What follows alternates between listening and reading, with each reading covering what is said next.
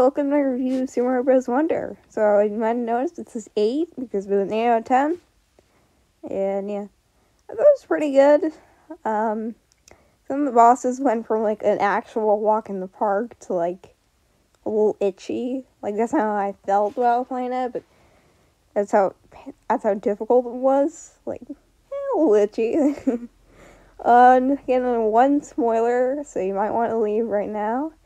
Uh, it's just that Connect didn't show up at all in that game. I thought that she was gonna appear in the in the in like the second to last boss fight. Like I noticed there was one more platform for the final boss, which you already know is called Bowser's Rage Stage. It, yeah, the, that final boss was like really easy. I think I beat it first try. Um, yeah, that that boss was easy. All right, well that was it. Um, bye. I'm gonna go watch something.